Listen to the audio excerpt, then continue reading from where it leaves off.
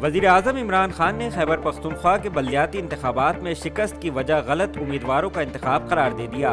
Twitter पर जारी बयान में वज़ीर अजम इमरान खान ने कहा कि तहरीक इंसाफ ने पख्तूनख्वा बल्दियाती इंतबात के पहले मरहले में गलतियाँ की और खमियाजा भुगता।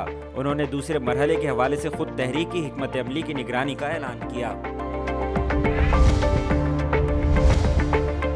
इस्लामाबाद हाई कोर्ट ने वज़ीर अजम इमरान खान की नाअहली के लिए दायर पटिशन वापस लेने की बुनियाद पर खारिज कर दी। इस्लामाबाद हाई कोर्ट में वज़ीर अजम इमरान खान की नाअहली के लिए 2018 में दायर पटिशन और मुतफरक दरख्वास्त आज समात के लिए मुकर की गई थी।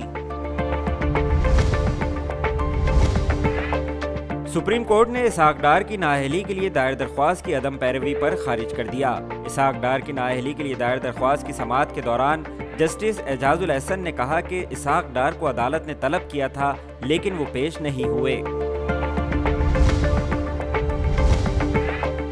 पाकिस्तान का Babur cruise missile one B का कामयाब तजुर्बा। आईएसपीआर के मुताबिक DG strategic plans division lieutenant general Nadeem Zaki मंच ने Babur cruise missile one B के कामयाब टेस्ट का मुशाहिदा किया।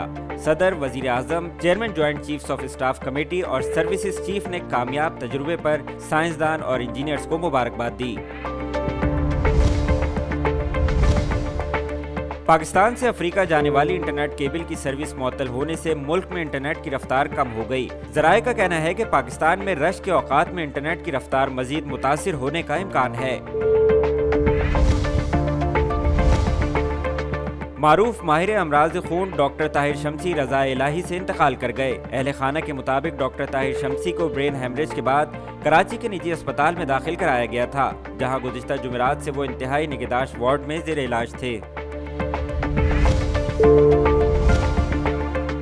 अमेरिका में कोरोना वायरस की जनूबी अफ्रीकी किस्म ओमिक्रॉन ने पंजे गाड़ना शुरू कर दिए और नए वेरिएंट से पहली हलाकत भी सामने आ गई। मीडिया रिपोर्ट्स के मुताबिक अमेरिकी रियासत टेक्सास में पीर के रोज कोरोना के नए वेरिएंट ओमिक्रॉन से पहली हलाकत रिपोर्ट हुई और मरीज़ के गैर वैक्सीन शुदा होने की तस्दीक की गई है। इसराइली इंटेलिजेंस के सबक चीफ मेजर जनरल तामीर हिमान का कहना है कि ईरान के जनरल सुलेमानी के कत्ल में इसराइल मुलविस था। ईरानी कमांडर जनरल कासिम सुलेमानी को जनवरी 2020 में बगदाद एयरपोर्ट पर अमरीकी ड्रोन हमले में कत्ल किया गया था। और टेस्ट क्रिकेटर आबिद अली को मैच के दौरान बैटिंग करते हुए सीने में तकलीफ़ हुई, जिसके बायस उन्हें फौरी तौर पर मकामी अस्पताल मुंतकिल कर दिया गया। आबिद अली के मुख्तलिफ़ टेस्ट हुए और ट्रीटमेंट दी गई, जिसके बाद अब वो तबीयत बेहतर महसूस कर रहे हैं।